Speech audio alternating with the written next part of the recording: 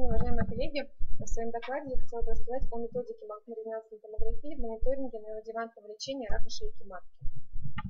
А, рак шейки матки характеризуется достаточно высокими показателями заболеваемости и смертности, согласно данным 2012 а, год. А, к сожалению, он занимает третье место в структуре заболеваемости злокачественными образованиями у женщин. И 70% приходится чаще всего на подкоклеточный рак. При этом наблюдается два пика заболеваемости – 38 лет и 62 года. Однако, к сожалению, стоит констатировать, что на сегодняшний момент рак шейки матки молодеет и молодеет, и мы диагностируем данную Э, патология у девушек 23, 25, 27 лет. Э, основными прогностическими факторами рака шейки матки являются гистотип и грейд, стадия заболевания, объем опухоли, глубина тромбальной инвазии, инвазия соседних органов, поражение лимфатических узлов и сосудистой инвазии. Большинство этих прогностических факторов мы можем визуализировать с помощью магнитно-резонансной томографии. Для того, чтобы правильно выполнить, э, то, что правильно интерпретировать исследование, нам необходимо его правильно выполнить. А чтобы правильно его выполнить, необходимо к нему подготовиться. Зачастую на фоне неоадъювантного лечения мы и так не можем понять, что же происходит в шейке матки. Есть там опухоль, нет опухоли. А если пациент еще не подготовится, мы не подскажем, как это сделать, тогда мы вообще можем ничего не понять. Как представлено на данном слайде, здесь пациентка абсолютно не подготовилась, не была проинформирована о том, что нужно употреблять какие-то газообразующие продукты, принять антиэметики, типа ножку или эспомизан за несколько часов до исследования. И в итоге на фоне перистальтики мы не отчетливо понимаем, что происходит в шейке матки. Вот пациентка подготовилась, и мы уже можем визуализировать структуру шейки э, тело матки и соседние органы. Э, согласно рекомендациям Европейского общества генитальной радиологии, вот так выглядит э, стандартный протокол сканирования при раке шейки матки. В среднем он занимает около получаса, и пациентка должна быть готова к этому как морально, так и физически. Основными последовательностями в протоколе являются два взвешенные изображения, которые мы выполняем в разных плоскостях. Одна из самых важных плоскостей – это сагитальная плоскость. Здесь мы можем оценить глубину тромальной инвазии шейки, опухоли шейки матки, визуализировать инвазию соседних органов, мочевого пузыря, влагалища, прямой кишки и тела матки. А, кроме того, наиболее важными последовательностями в нашем протоколе являются высокоразрешающие сканы, которые должны быть ориентированы перпендикулярно, э, строго перпендикулярно опухоли и строго параллельно опухоли. Это помогает нам оценить не только глубину стромбальной инвазии, а также оценку параметральной инвазии и протяженность поражения. Именно на таких сканах мы видим то самое гипоинтенсивное стромальное кольцо, которое является эм, признаком того, есть инвазия параметра или нет. То есть не видим кольца, значит есть инвазия, есть здесь какие, значит инвазии параметров нет, до 90% точности. Также мы выполняем обзорные эти два взвешенные изображения. Они помогают нам также в некоторых случаях оценить э, параметральную инвазию, э, посмотреть инвазию в э, боковые стенки таза, оценить инвазию в другие органы, посмотреть лимфатические узлы и какую-то э, выявить сопутствующую патологию. А, в настоящее время настоятельно рекомендуется выполнять диффузионно взвешенные изображения, то есть включить их в стандартный протокол. А, используется чаще всего B-фактор 50, фактор 800 с построением ЭКД-карты. Диффузия помогает нам визуализировать э, зачастую края опухоли более четко, увидеть более маленькие опухоли.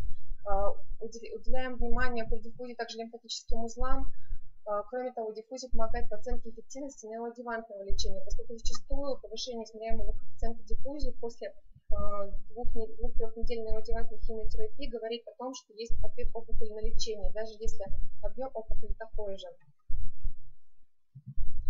А, и в завершении, э, в конце мы используем один взвешенное изображение с контрастным усилением. Мы используем динамическое внутривенное контрастирование в сагитальной плоскости, выполняя сначала доконтрастное изображение, и на, э, тем вводим контраст, и на каждой 15 э, секунде фиксируем исследование 15, 25, 35, 45 секунды. И обзорная постконтрастная. Мы делаем как сагитальная, так и аксиальную плоскость.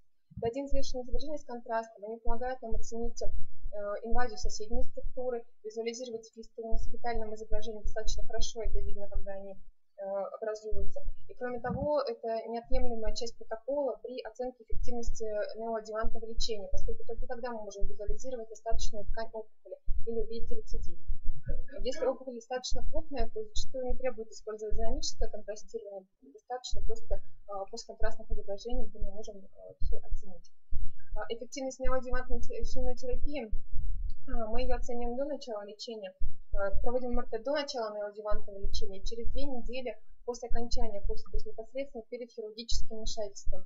В настоящее время основной группой пациентов составляет пациенты вот с этими стадиями. Степень ответа подразделяется на полную, частичный регресс, стабилизацию и прогрессирование. Основными методиками оценки являются клиническая методика, ультразвуковое исследование, МРТ и гистология. А, как мы оцениваем эффект лечения? Мы оцениваем размеры опухоли, степень инфильтрации параметрии, вовлечение тела матки в других органов и состояние лимфатических узлов. Вот хотелось бы привести несколько клинических примеров, как мы это делаем, алгоритм. Сначала мы делаем, как я уже сказала, сагитальные два взвешенные изображения. И мы видим, как до начала химиотерапии э, в э, передней губе визуализируется опухоль, Э, типичными сигнальными характеристиками повышенного сигнала на 2 вы, достаточно четкими контурами. Мы выполняем э, тонкосрезовое изображение, которое ориентировано строго перпендикулярно опухолевым изменениям, оцениваем параметральную инвазию. Выполняем диффузионно взвешенное изображение, видим повышение сигнала на диффузию на высоком факторе, понижение сигнала на харц, то есть мы говорим о признаках истинного ограничения диффузии, и проводим интервенное контрастирование, да, патологическое контрастирование опухоли. И теперь мы выполняем исследование после э, неоадъювантного лечения и смотрим, что в проекции ранее выявляемого узла на нативных сканах мы уже не видим той гиперинтенсивной опухоли. Да, э, э, сигнал чайки-матки достаточно гиперинтенсивный, дифференцировка несколько снижена, мы все-таки опухоли не видим. Мы делаем high resolution, смотрим также, что признаков остаточной опухоли нет. Проверяем себя на диффузии. По диффузии, возможно, здесь достаточно сложно понять, можно запутаться на фоне проведенного лечения. Но мы проводим динамическое контрастирование и также не видим э, более, участка более раннего накопления контрастного препарата по сравнению с э, здоровой тканью. То есть это был подтвержденный полный регресс. А, при э, частичном регрессе алгоритм точно такой же. Мы смотрим на первичную опухоль, мы ее оцениваем на сагитальном предвозвешенном изображении, на аксиальном, то есть мы видим вот опухоль, вот она, а, на диффузии э, типичные признаки истинного ограничения диффузии повышенного сигнала ДВИ, пониженного на ЭКД, при внутривенном контрастировании патологический характер накопления парамагнетика. После неоадъювантной э, э, химиотерапии на сагитальном нативном изображении мы не видим опухоли. Выполняем хорез. На хорезе уже мы видим какой-то участок, который характеризуется повышенным сигналом в проекции ранее выявляемой опухолевой ткани проверяем себя на диффузе, смотрим, есть ли отчетливое повышение сигнала. На ИКД-карте достаточно сложно разобраться, возможно здесь, возможно здесь. Но при выполнении динамического контрастирования мы уже видим отчетливый участок достаточно опухолевой ткани, что было подтверждено гистологически, то есть это был частичный регресс. Также пример стабилизации процесса, когда мы видим, э, согласно э, рецисту, достаточно одинаковую э, по размеру опухоль, Э, на нативных NT2 или на аксиальных resolution изображениях, на диффузии с аналогичными характеристиками и также накапливает контрастный препарат. То есть это вариант стабилизации процесса. К сожалению, нас встречаются такие пациенты, когда мы видим прогрессирование процесса. Здесь отчетливо видно до начала химиотерапии, опухоль в передней губе шейки матки. Мы видим, что после проведенного, проведенных трех курсов э, опухоль занимает практически всю шейку. Это мы видим и на э, срезовых изображениях, визуализации измененных лимфатических узлов, также на диффузионно-взвешенных изображениях с признаками истинного ограничения диффузии и физиологическое накопление контрастного препарата, если динамическое контрастирование не требуется. И через несколько месяцев мы, э, данная пациентка была прооперирована, и была такая картина, достаточно крупный опухолевый узел с инвазией соседних органов, мочевой пузырь, кишка, э, стенка Э, прямой кишки. И перитон кишки также были вовлечены в процесс изменения лимфатических узлов Кроме первичной опухоли, с помощью магнитно-резонансной томографии мы также можем оценить лимфатические узлы. Зачастую это является достаточно сложной задачей, поскольку э, не бывает такого, что все критерии, мы имеем все критерии поражения лимфоузла. Основные критерии, которыми мы руководствуемся, это, конечно, размеры. Если лимфатический узел круглой формы, то диаметр э, пораженного лимфоузла чаще больше, чем 8 мм. Если он овальной формы, то чаще это более чем 10 мм в поперечнике. Э, зачастую нам помогают такие признаки, как нечеткость контура, перифокальный отек, отсутствие жировых пород, то есть когда мы не можем наблюдать кортикомедулярную дифференцировку, неоднородность коркового слоя его утолщения и асимметрия лимфатических узлов. Э, в принципе, КТ и МРТ обладают по некоторым инициативным данным достаточно одинаковой эффективностью в оценке критериев. но сейчас внедряется очень много новых технологий. К сожалению, USPO недоступны нам в России, а ОПЭТ достаточно неоднозначные результаты. Также ультразвуковое исследование зачастую помогает нам в визуализации лимфатических узлов. А, конечно, когда мы видим вот такую картину, здесь э, пациентка, у него шейки матки, мы видим вдоль наружных подвздошных сосудов округлые водные лимфатические узлы, а, структура их не прослеживается, размер их увеличен, диффузии светлой НДВИ, пониженного на карте, да, патологическое накопление контраста. После неодевантной химиотерапии было прогрессирование процесса, и, конечно, такие лимфоузлы никаких вопросов у нас не вызывают. А, не стоит забывать, что э, диффузная перестройка лимфатического узла является также научным признаком его поражения. У данного пациента, в данной пациентке опухоль шейки матки с лимфатическими измененным лимфатическим узлом вдоль правых воздушных сосудов. Э, Диффузия нам здесь не поможет, поскольку и там, и там повышенный сигнал, вот контрастирование. И на фоне химиотерапии мы видим уменьшение лимфатического узла.